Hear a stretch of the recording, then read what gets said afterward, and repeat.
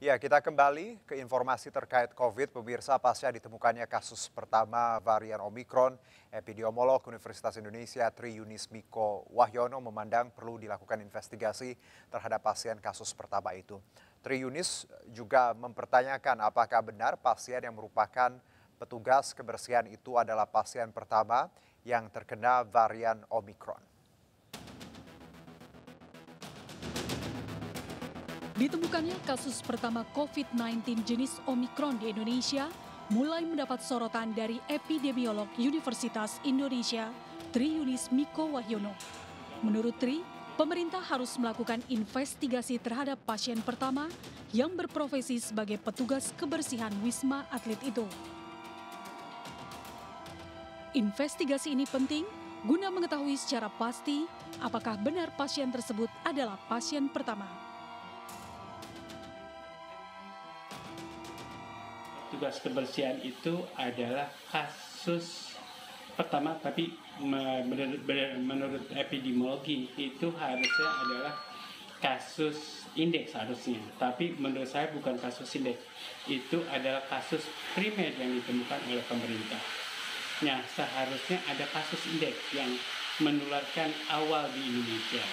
Jadi kalau kita telusuri kalau itu adalah uh, petugas kebersihan Wisma Atlet maka kasus primernya bisa uh, pasien di Wisma Atlet, bisa dokter, bisa orang lain, atau bisa orang-orang yang datang ke Wisma Atlet, atau tetangga dari petugas kebersihan. Dan itu harus diinvestigasi sampai ketemu kasus indeksnya.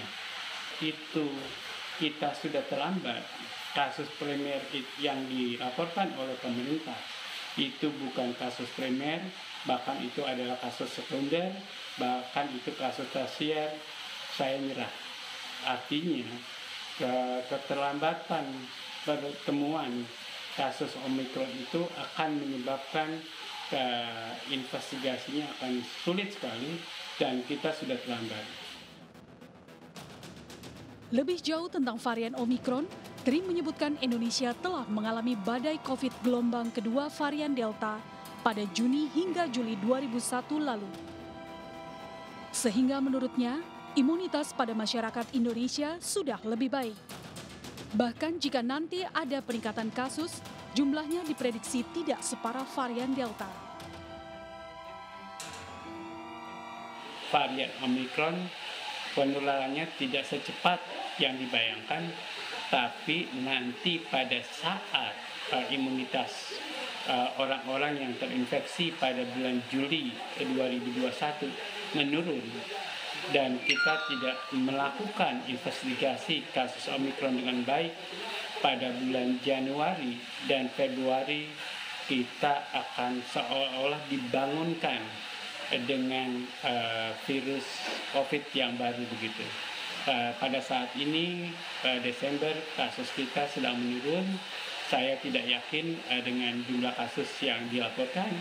Saya yakin bahwa ya kasus yang dilaporkan adalah under reported. Jadi uh, sebenarnya kasusnya banyak uh, tapi temuannya sedikit. Dari Depok, Jawa Barat, Iung Rizky, iNews melaporkan.